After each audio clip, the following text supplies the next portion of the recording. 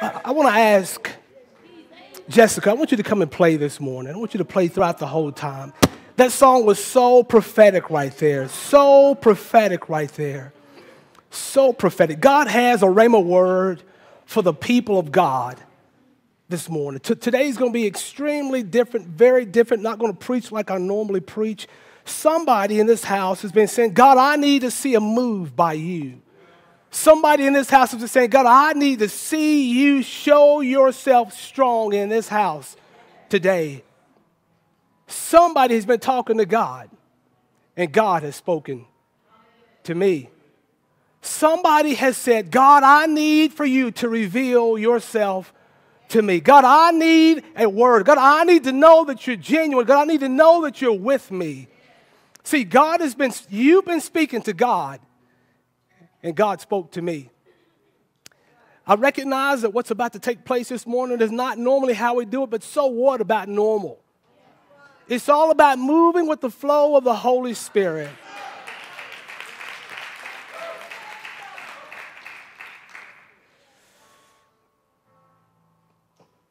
Somebody say, I'm going to see a move of God this morning. I'm going to receive a touch from God this morning. I want you guys to, to work with me this morning. I want you to name some specific times, whether or not you can feel it, but when the presence of God is among you. I want you just, just, just say it. I want you to name some specific times when you know the presence of God is among you. Whether you can, how many of you know that you're not going to always feel God's presence? But just because you don't feel God's presence doesn't mean that God's presence isn't with you. But I want you to name specifically some times where, you, where the presence of God is, is there, is among you. Anybody? Praise and worship. Praise and worship. What, what was that?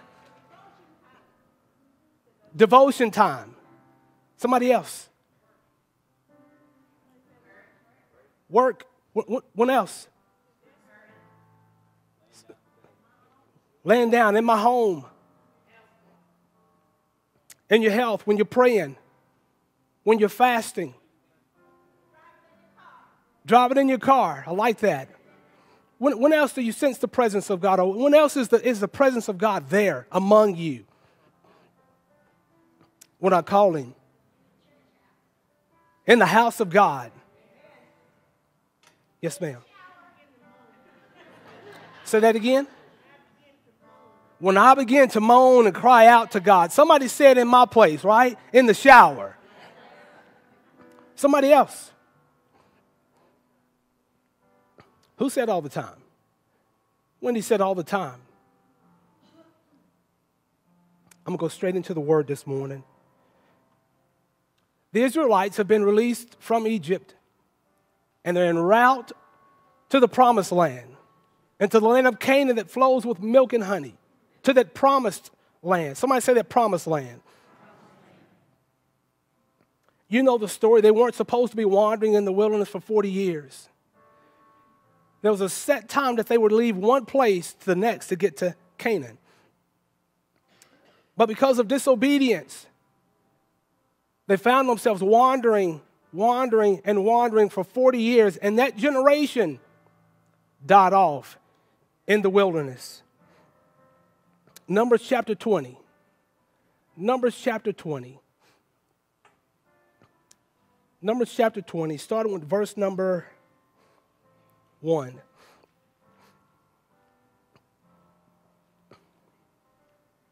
Numbers chapter 20, starting with verse number 1. For those of you that may not have your Bibles, you can follow along with us up on the screen. And I do apologize that it's partially cut off. Well, at least it is for me back there, so you're fine up here. Everybody there? if you need a few more seconds, say hold up.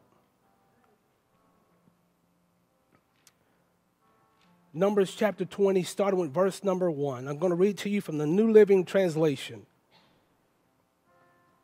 The Bible says in the first month of the year, the whole community of Israel arrived in the wilderness of Zin and camped at Kadesh.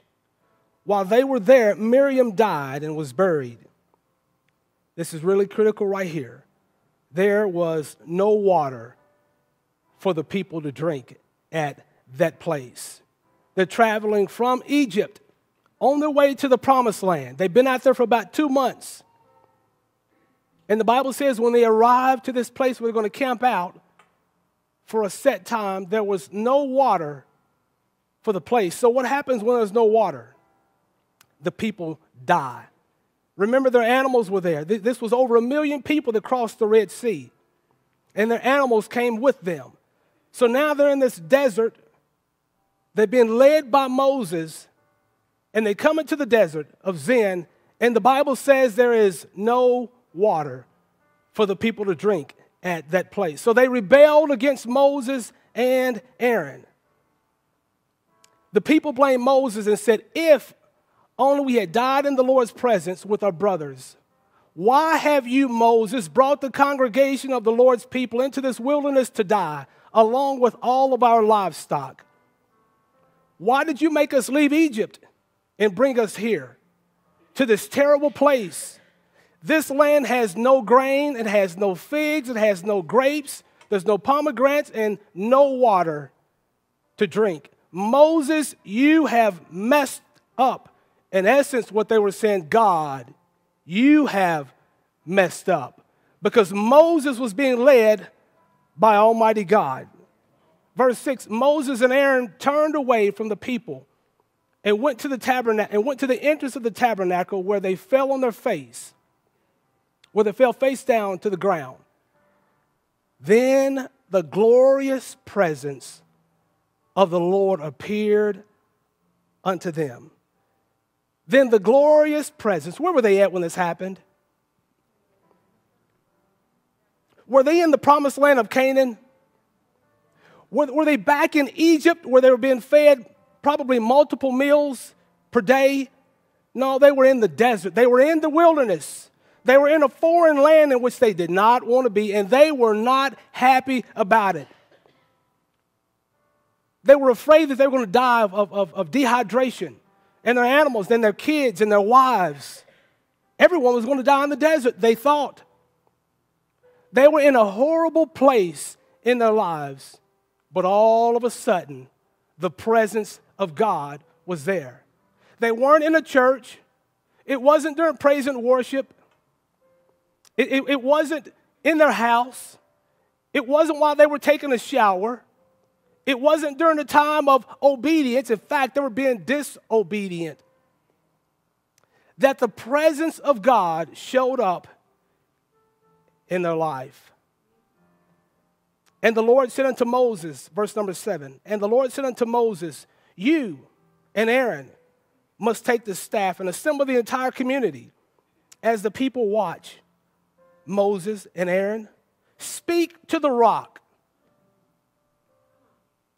Now, I'm not going to go into this. You know the story. Moses, instead of, instead of Moses speaking to the rock, the Bible says that Moses hit the rock twice. Now, even though he was disobedient, God still allowed water to come gushing out of this rock. But Moses had to pay for what he had done. That's not what I'm preaching on today. But my whole point is and the Lord said unto Moses, You and Aaron must take the staff and assemble the entire community. As the people watch, speak to the rock over there, and it will pour out its water. You will provide enough water from the rock to satisfy the whole community and their livestock. Please hear my next point. One of the most overlooked and unrecognized moments in which the presence of God is among us. Don't put it up yet. Don't put it up yet. One of the most overlooked and unrecognized moments in which the presence of God is among us is during times of adversity. But we overlook the presence of God. We don't recognize the presence of God. And there's a reason behind that. Yes, we recognize the presence of God. We, we, we were in the presence of God a few minutes ago, right? He was here in a powerful, tangible, strong, and mighty way. when everything is going you're great, your emotions are high, your, your, your mindset has changed, you're, you're, you're just elevated, and God is everywhere. Oh, but how that changes when you're going through moments of adversity, to get some bad news from the doctor.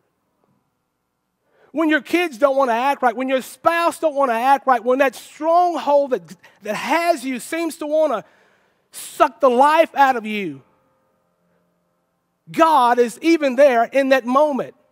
Well, preacher, how do you know? Because I serve a God that cannot lie. And my God says, I will never leave thee nor forsake thee. Even when you mess up, God, the Holy Spirit, is still there. Even when you blow it, God is still there. How do I know? Because I've messed up, just like you've messed up, but yet the Holy Spirit touches my heart, convicts my heart towards I get things right with God.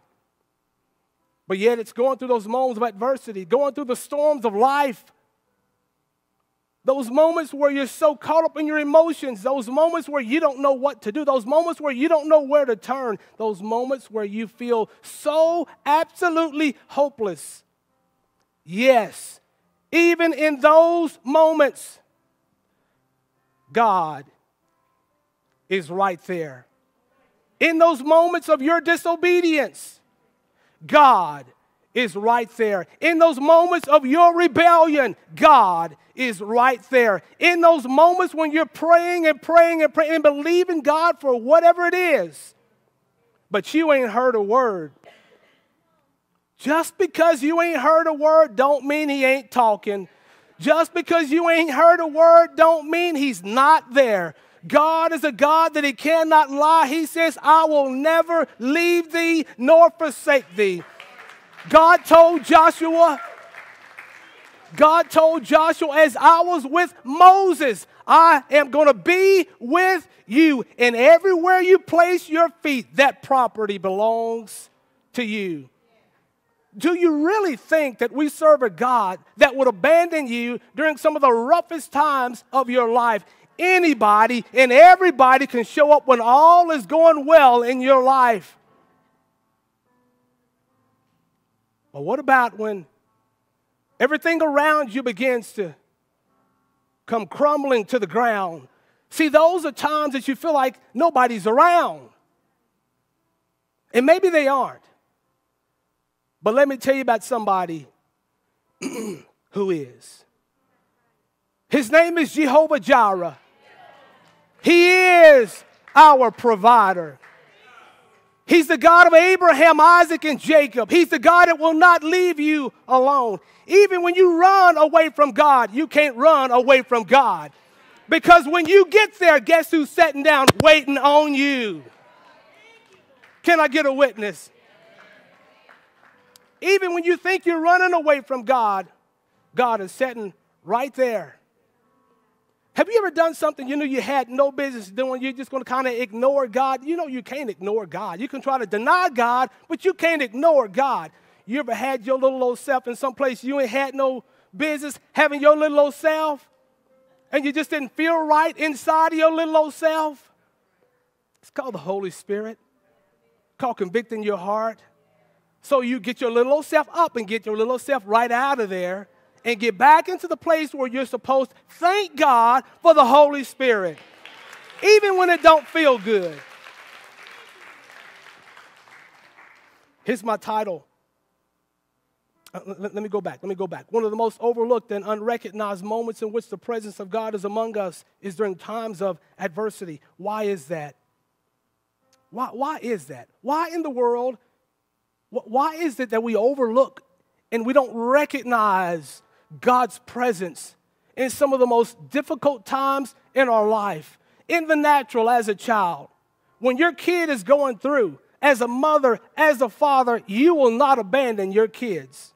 Even when you know they're wrong. Yes, you'll show them some tough love, right? You'll show them some tough. Anybody been shown any tough love? I've shown mine some tough love.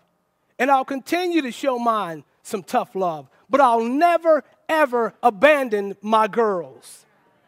Why? Because my girls came from above. They came from God, and they're my responsibility until the day they take their last breath to be their father. Why is it that we overlook and unrecognize the presence of God during moments of adversity? Number one, we get too caught up in what's going on around us. Number two, we get too caught up in our feelings and emotions to where God appears to be invisible. God, I don't hear you. God, I don't see you. God, I don't feel you. Just because you don't see, hear, and feel doesn't mean that God is not there. Here's my title. Even when we don't see or feel Him, He's present. Even when we don't see and feel Him, He's present. I'm going to conclude with Psalms chapter 139. Some of the most powerful scripture in the entire Bible. Psalms 139, starting with verse number one. This is what David said O Lord, you have examined my heart. I hear some pages turn. I'll wait for you to get there. Psalms 139. Psalms 139, starting with verse number one. Even David went through moments of discouragement. Even David went through moments where he felt like God had abandoned him and he cried out to God. Verse number one, oh Lord, you have examined my heart, and God, you know every single thing about me. You know when I sit down or stand up. You know my thoughts even when I'm far away. One translation says, God, you know my thoughts even before I receive my thoughts. God, you know what I'm going to think even before I think it. Verse 3 You see me when I travel and when I rest at home. You know what I'm going to say even before I say it, Lord. God, you know everything that there is to be known about me. God knows what you're going to say next week. God knows what you're going to say next month. God knows everything there is to be known about you. Why? Because God is in tune with you. Because God is head over heels in love with you. That doesn't sound like a person that would abandon you during the roughest moments of your life to me. You go before me and follow me. I love that. You go before me and follow me. Man, I've got protection in front and the back. You best believe on both sides and above. Such knowledge is too wonderful for me, too great for me to understand. I can never escape your spirit. I can never get away from your presence. If I go up to heaven, God, you beat me there. If I go down to the grave, God, how you get there so fast? Even there, God, you are there. If I ride the wings of the morning, if I dwell by the farthest oceans, even there, your hand will guide me. Your strength will support me. I could ask the darkness to hide me and the light around me to become night. But even in darkness, I cannot hide from you. To you, the night shines as bright as day. Darkness and light are the same to you. Somebody in this house right now. You're going through a very discouraging time in your life. You're going through a very emotionally traumatic moment in your life. How do I know? Because God the Holy Spirit has revealed to me. God spoke to my heart and said that someone would be here, maybe more, maybe more than one of you, that this morning this word would speak directly to your heart. You feel isolated, you feel abandoned, you feel alone. and you just need a touch from God this morning. You just need God to say, You're not alone, and I'm going to confirm it. I'm going to reveal myself to you in this house today through the Word of God. God wants you to know you're not by yourself. God wants you to know that regardless of what you're dealing with, you're not alone. Somebody has said, God, I just need to know that in this moment, I'm not alone.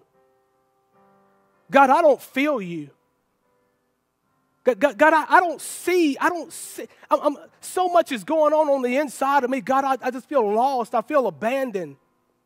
God wants you to know this morning that through this word, that He's speaking directly to you, that you're not alone. He's right there. You've made it as far as you have because He's been right there. You'll overcome what you're going through. Did you hear that? You'll overcome what you're going through because He will be right there. Every head bowed, every head bowed, every eye closed. And I'm going to ask that nobody look around.